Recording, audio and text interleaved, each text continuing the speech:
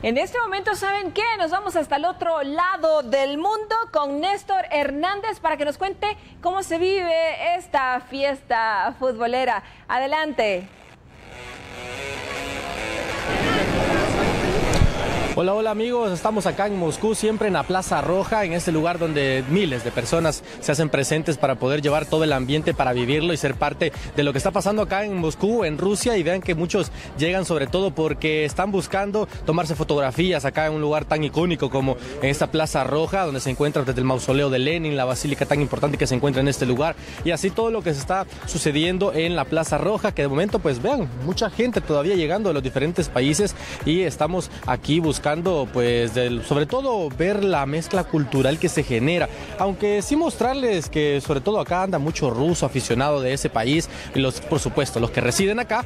Y estamos hablando de que son pocos los latinos ya porque van a otros sectores a disputar sus partidos de octavos de final, que será tan importante en los próximos días que vienen los encuentros, por ejemplo, el de la selección de Uruguay ante Portugal, que van a jugar en Sochi el día de mañana, y también pues van otros partidos ya pendientes con toda la pasión que están viviéndose acá en Rusia. Así que así vean los aficionados con muchas ganas de querer ser parte de esta fiesta y vamos incluso a acercarnos para poder conversar con ellos. A ver, hello coming here? I don't understand. You speak English? No, I don't speak English. I don't. Uh, you are speaking English. Uh, I don't speak because I have no practice. You like uh, the World Cup? I don't understand. The FIFA World Cup, the all the the football. Do you like football? Yes, yes. You like Russia I team? Like, I like football. Uh, короче, кого болеем? You speak English? Little. Okay, but you like the FIFA World Cup? Yes, of course. And you are watching all the games? Uh, no, old when uh, game Russia and some uh, different teams. Ok, menciona ella de que le gusta mucho el fútbol, le gusta la Copa del Mundo y sobre todo siguiendo a su selección, a los rusa. And how do you see, how do you feel Russia is gonna play tomorrow and well Sunday? where, with the select, uh, national team from Spain. Do you gonna see this match? Yes, of course. I think and I hope then Russia win.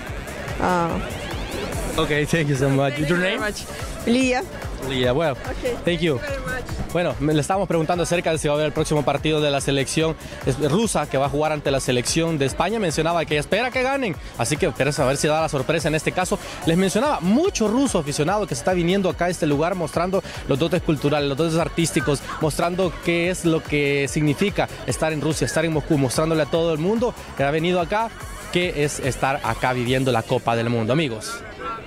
Néstor, pues eh, con la grata noticia que pues siguen eh, varios países latinoamericanos allí en esta contienda futbolística. Los latinos, porque es lo que más nos llama la atención, ¿verdad? Esta algarabía que nos caracteriza. ¿Qué dicen los latinos allá en Rusia?